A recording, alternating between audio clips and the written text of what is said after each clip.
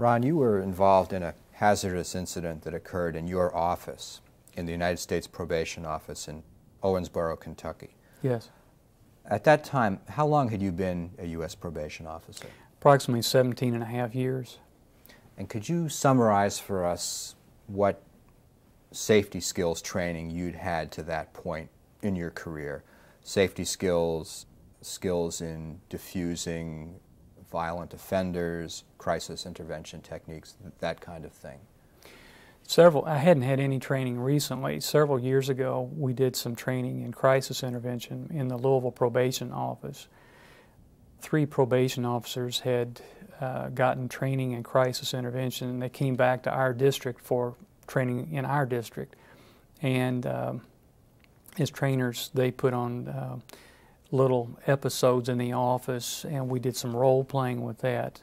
And essentially, that's all the training I'd had in that regard. Can you tell us what the security measures were? You know, what security measures were in effect in the Owensboro office at the time of this incident? We had almost no security at the office. Uh, we had one court security officer who was on the second floor. His primary responsibility, however, was to guard the courtroom.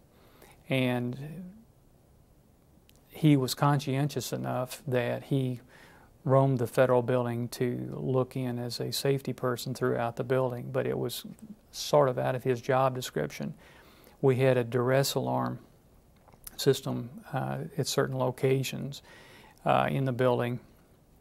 There was in our office there was one underneath the secretary's desk and one underneath my desk, and that's basically it for the whole building.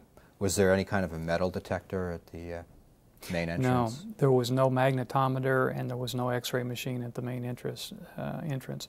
We uh, we're a field office, and we just really don't have that much um, court that goes on in the building. Generally speaking, once or twice a month is all that we have a district court in our courthouse. Now, as we get to the incident itself, could mm-hmm. you could you sort of set the stage for us, perhaps, by telling us what the situation was in the office before the incident, what you were doing in the office before the incident itself started? Um, it um, there was nothing unusual or remarkable about that day. Uh, I came in and uh, opened the office. Uh, the secretary had resigned in the office prior to that, so I was in the waiting room by myself. Having not been there the preceding day, I was taking messages off the answer phone for me, and I had I'd previously gotten the mail, and I had the mail in front of me that I had to open and date stamp. So, I, were there any other officers uh, working at that time? No, I, it's a one-man office, or was a one-man office at that time. So I was doing it all, and uh, so I was taking the messages off when uh, David Russell came in. and I was in the reception area. Now, and David Russell, I take it, was someone who was under your supervision at that time. Yes. And there came a time on that day when the door opened, David Russell entered the office, and then what happened after that? All right. I may need to back up a little bit. Uh, just prior to his coming in, there was a hang up call, say 10 minutes before he came in, which subsequently I found out he had called to see if I was back he came in the day before, and as I indicated earlier, I was not there, and the court security officer saw him, and he said he was looking for me, and he said, Well, he's out, he'll be in tomorrow. So when Mr. Russell came in, I greeted him and uh, said, I understand that you were looking for me. I was going to call you a little bit later. And as I was greeting him, he turned around and shut the door behind him going into the um, waiting room. So you're both in the reception area, the, mm-hmm. the, the, waiting room area at right. this point, and he, right. he shut the door. Mm-hmm. What did he do then? Well, he um, he pulled out a uh, 38 caliber revolver. Um, it was a. Uh, I noted that it was either chrome or silver plated, and he held it in his right hand, uh, aimed it at me and said that he was going to kill me. What happened after that? My first thought well, my first thought was this really can't be happening to me. Uh, but then uh, I was thinking, you know, where do I go? What do I do? How do I diffuse this thing? Uh, Mr. Russell was between me and the secretary's desk. So, in order to get around to the silent alarm to get the security guard in, uh, I would have had to go right in front of him. So, I knew that wouldn't work. So, my, I was thinking, you know, I've got to keep him calm. I'm going to try to talk him out of it, and I've got to get some help up here. Because I'd been on vacation, uh, I knew I was going to have paperwork to do, so I had not brought my revolver in. I was without any form of protection, so I was going to have to rely on some outside source. So while talking to him, I said, Come on into my office. We need to talk about this. There's nothing so bad that we can't work out. So, very slowly and very gradually, without turning my back on him, I backed into my office where I could get to the uh, duress alarm at my desk. Just backing up for a moment to the point where mm-hmm. you, where Mr. Russell first pulled the weapon on you. Uh, I take it he pointed it at you at that time. Yes. And do you remember physically what his state was at that time? Could you do you have any memory of of, of uh, what he looked like physically? He was agitated. Uh, he was wearing uh, what I think is commonly known as a ski parka. It was not cold that day, but he had the ski parka zipped all the way up, which meant that the parka came right to his chin. That was the first thing I noticed. First of all, why is he wearing a jacket? And second of all, why is it zipped to his chin? But he was he was agitated, and I had previously recommended that he go to a, uh, a psychiatric uh, hospital and get diagnosis, and also to perhaps get medication. And um, he obviously was not on medication because he was, you know, uh, uh, twitching a little bit. And uh, so, in addition to pointing the gun at you and threatening to kill you, mm-hmm. it sounds like there was other physical behavior mm-hmm. going on there that was. certainly was was alarming to see. Mm-hmm. He was talking louder than usual, and as the dialogue continued, he kept getting louder and louder. And again, that was unusual for him because he had been very soft spoken prior to that. How long had you been supervising him to this point? It, uh, it had been approximately four months uh, from the time he got out of prison until I recommended that he go into the mental hospital.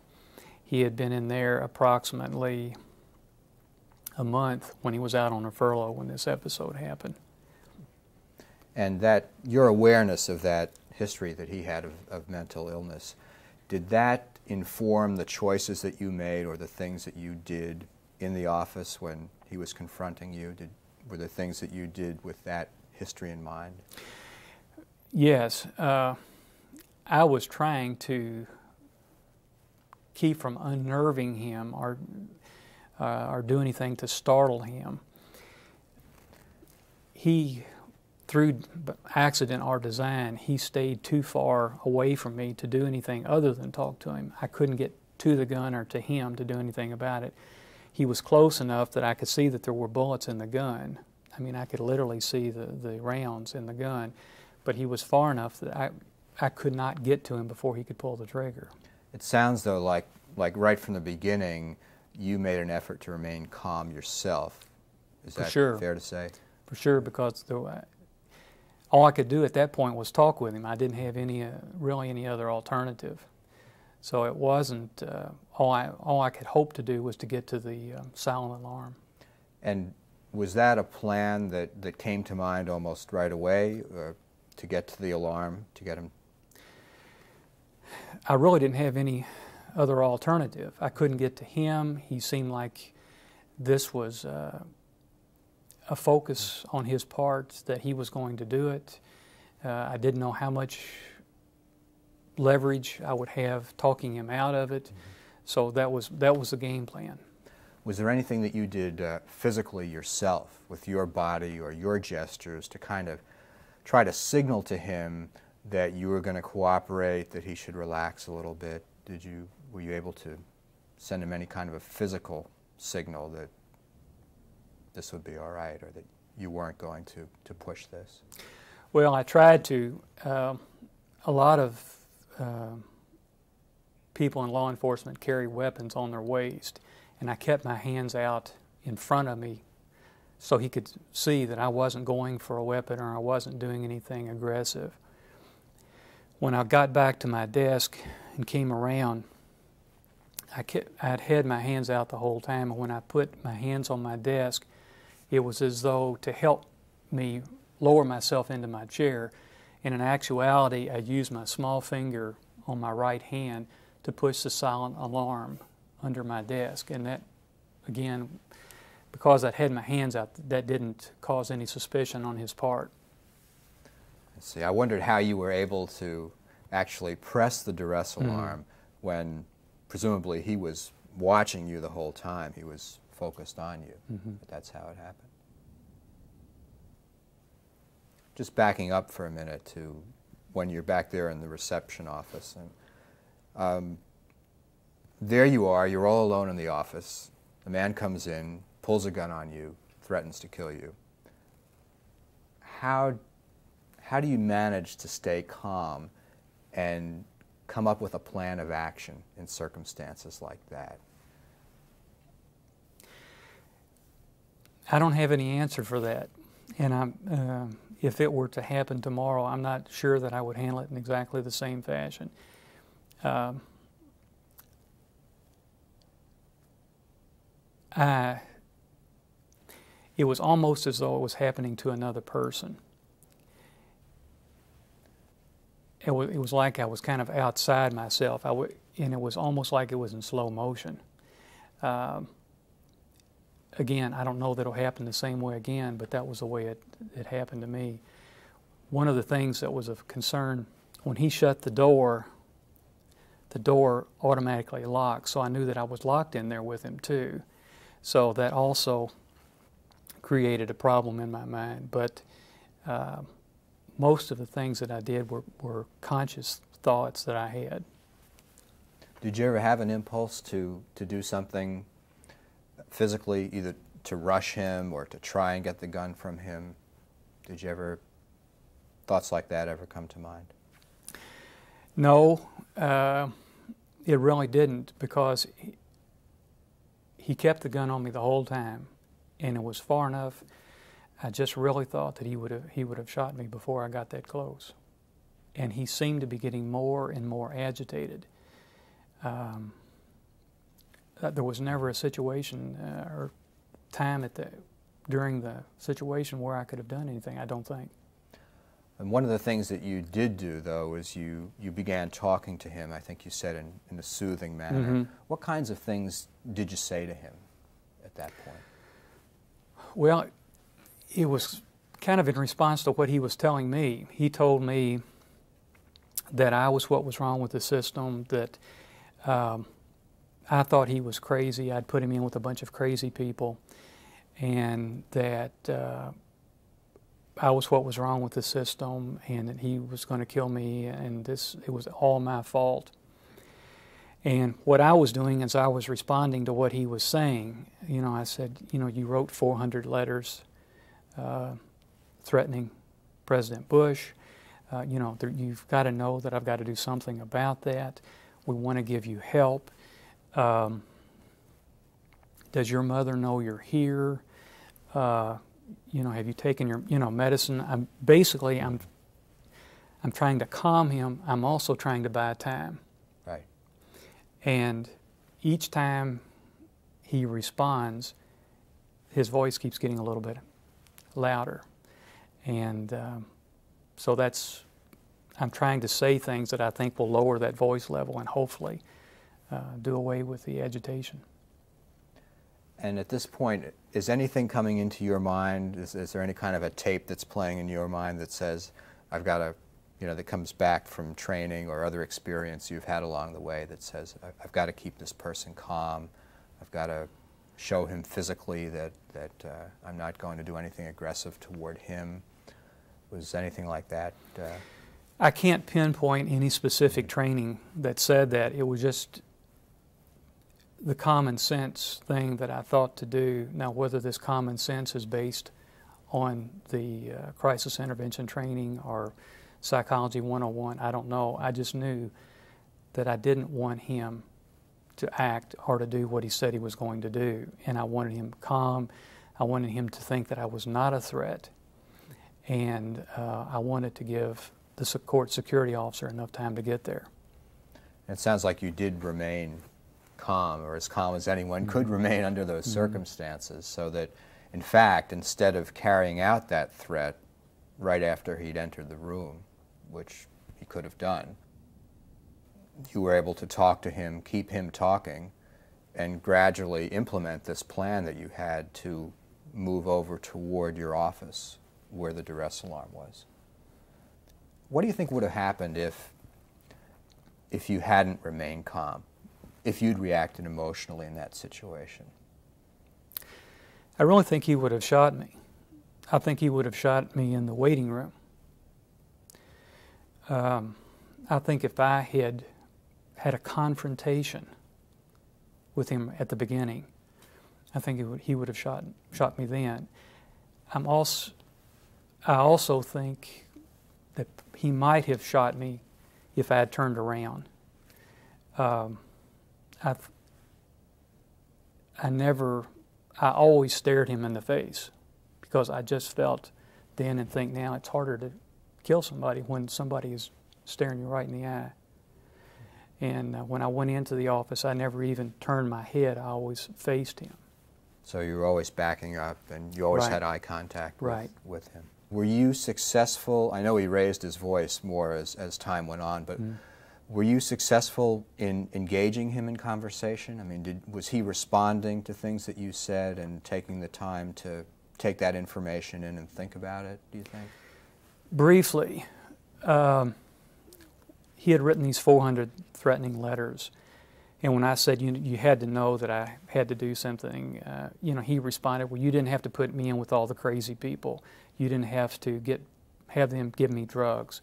You know, he was giving me some answers, but they weren't real long, and I was hoping to get a long answer that would give him something else to think about other than why he had come to the office. Were you able ever to give him or offer to him other possible courses of action? Say that, well, there might be another way to, to handle this, or we can resolve this in some other way for him to consider? He was living with his mother at the time, and uh, I said, you know, uh, have you talked, you know, does your mother know you're here? No. Well, you know, do we need to talk to your mother about this? Maybe we can work some, you know. And I was trying to do that, but he wasn't buying any any conversation about his mother. So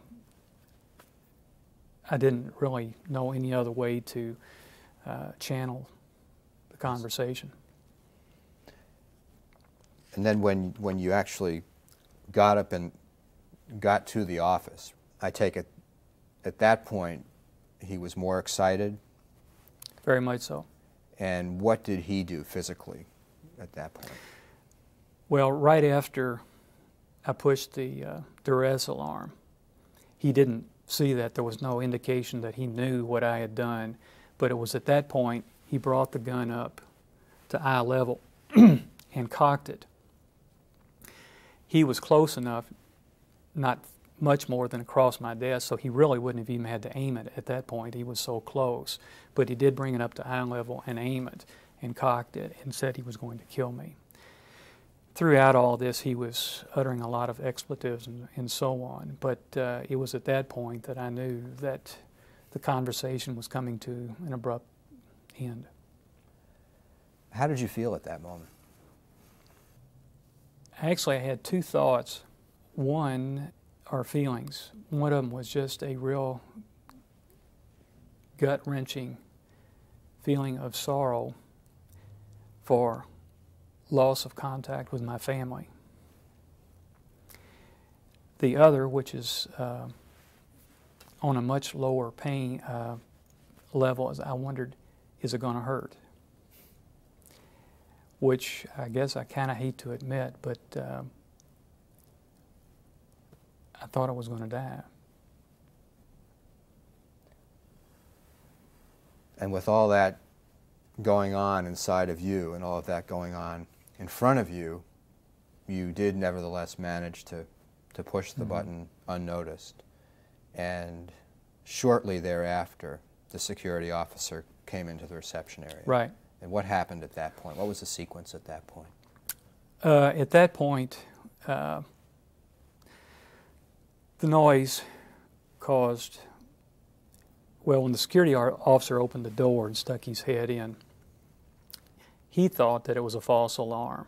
And so he didn't have a weapon out. He was really getting ready to say to me, You've pushed the button uh, in, incorrectly or it's an accident or whatever. So, anyhow, when he stuck his head in, it was almost a thing of gulp because there's the guy with a gun getting ready, you know, getting ready to shoot me. But anyhow, Russell spun around with the gun still up, uh, both hands. Uh, ready to fire toward the security guard. He, and when he spun around toward him, that's the first time since the scenario started that he, I had ever gotten his attention diverted from me. So it was at that point I thought he was going to shoot Roy. The security guard. The security guard. So I yelled at Roy and jumped up to try to grab Russell. And of course, with the yelling and the clatter of my chair, which went flying behind me when I tried to, to jump out from behind my desk, that caused him to Russell to spin back again toward me because I was making more noise than the security guard. That gave the security guard enough time to get to the hand with the gun, the right hand. And it was at that point that he spun Russell's hand away from me. And it was at that point that the uh, gun discharged, uh, which is just a, a brief second before I got to him. And how much distance did you travel in that time? It sounds like you were behind the desk, mm-hmm. he's in front of the desk, and you managed to go. It where? was obviously a matter of seconds. Uh, it seemed like a long time to me, but it was only a matter of seconds. And uh, uh, in fact, it was a uh, later we found that tra- the trajectory of the shell came right at me as I was running to get to Russell to subdue him. So uh, I almost got shot with, with the ricochet. What happened? What was the path of the bullet? Well, when Roy swung, uh, swung his arm up, it went into my side wall in the uh, federal building and uh, uh, came back toward the desk. I understand that um, the FBI has since given you the expired round, and yes. we talked about you bringing it with you here today. Yeah. Is that the round that you have there yeah. right now? This is the round.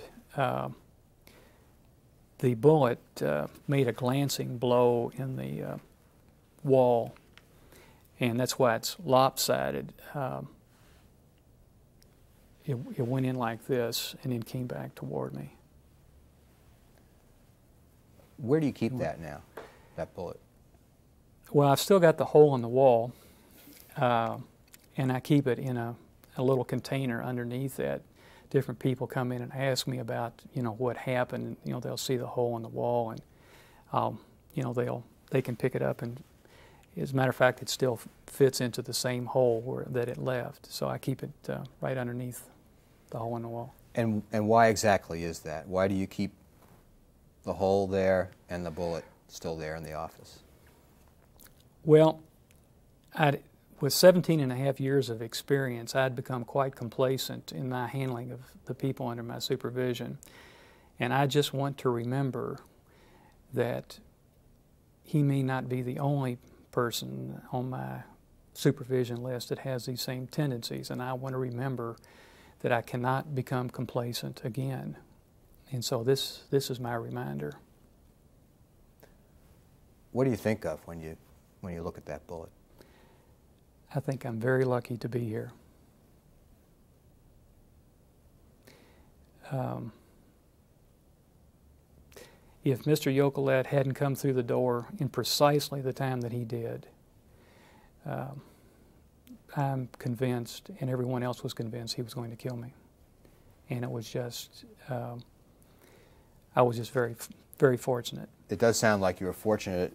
It also sounds like that you were able to do things to, to buy time, and that you, when the moment came, that you could afford to react physically.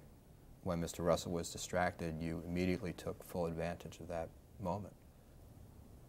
Have your thoughts on safety and probation officer safety changed as a result of, of this experience? Certainly. After so many years of supervision, you know, you become very complacent, and I think um, every officer who's gone through officers uh, through training has felt like this will never happen to me. I'm wasting my time. I can diffuse a situation by discussion or whatever. And there are situations that um, you cannot resolve by talking. And uh, you cannot, be, you know, you have to be aware all the time of who you're dealing with and where you are.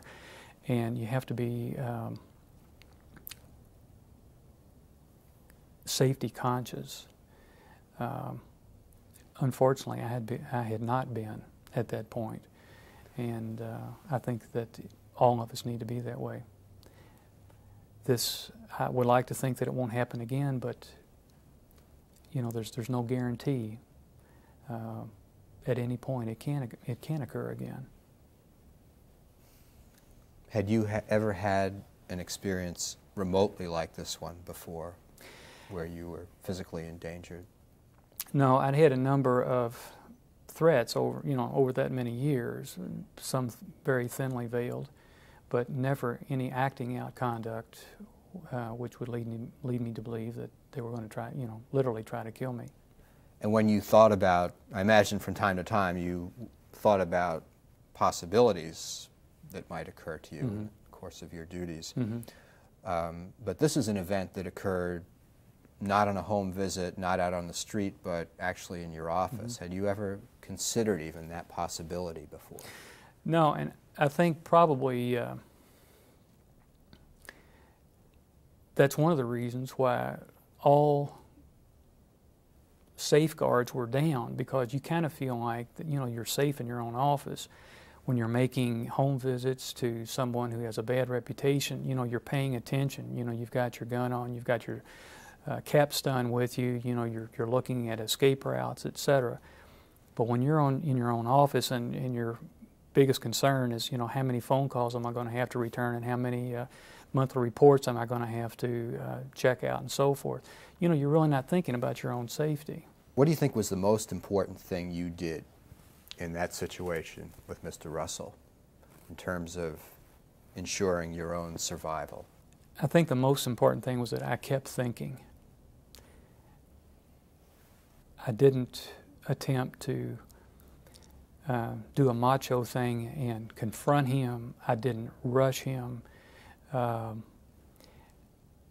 the whole time I was thinking of he's doing this and saying this, I need to be doing what in response to him? What, what can I do to get out of this situation? I really think that you, that was the main thing. Looking back on it, it seems that you were quite successful in, in achieving your goals in that in that situation, and and that uh, what was certainly a traumatic experience at least did not have a, a tragic result. When you think back on it, is there anything you would have done differently? Is there anything now that we have, or you have, the luxury of hindsight? Is there anything you might have chosen to do differently? Not really. Um, it, every all the other alternatives, I think, would have the results would have been disastrous. I don't know if um, if it happened again. I don't know if I would respond in the same manner. I just that was the way I chose, and it happened to work. But I, I, I just I don't know any other way that I could have handled it, and so I, I I'm just tickled to death to be here. I find it interesting that, that faced with circumstances like that that are so extreme, that in fact, I think as you just said, that you made choices, that you chose to Mhm. do it that way, that you were able to keep on thinking and consider choices and, and act upon them. Is there anything that you do now in the office situation differently because of this incident? Are there safety measures that have been implemented or that you personally take that you didn't take before? As a result of that uh, incident in the office, the federal building now has a magnetometer and it now has uh, an x ray machine. Uh, we also have an additional court safety officer. Um, we also have a secretary in, in the office where it started, and there's also another probation officer. So things have happened uh, pretty rapidly since that time, and I th- think you know a number of safeguards have been put into place. So I, I don't think well it couldn't happen with the same case scenario as the first. So I, I feel much more secure in the office now than you know I did previously. Well, we're certainly all thankful that you're here today to talk about this incident with us. And Thank you. Um, just in closing, do you have any advice or any other thoughts about this or about probation officer safety generally that you'd like to share with your fellow officers out there? None other than um don't be complacent. Uh, don't think that the fact that you've been in the system 15 or 20 years that you're immune for any kind of uh, aggressive behavior, acting out conduct because you're not. I wasn't. Uh, I didn't think that uh, that there was any problem. I thought I could handle it because of what had happened over the years. Um, I think people need to be aware that the clients that we're supervising today um, are different than the clients we were supervising 10 or 20 years ago. I think we've got more mental health cli- uh, clients. I think we've got clients with more acting out conduct in their background. And I think people should be more aware of their own personal safety.